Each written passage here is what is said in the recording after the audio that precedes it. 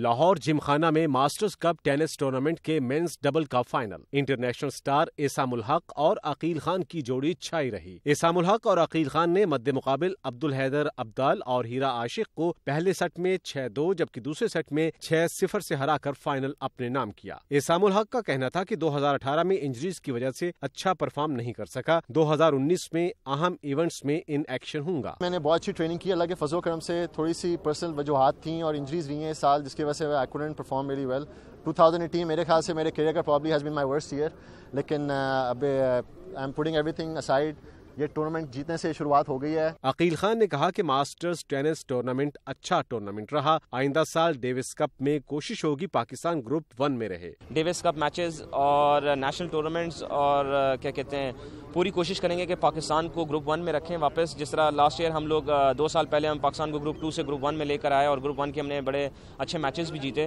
masters cup tennis tournament کے women اور men's single کے فائنل مقابلے اتوار کو کھیلے جائیں گے کیمرہ مین ساجد الیاس کے ساتھ بلال عقیل لاہور نیوز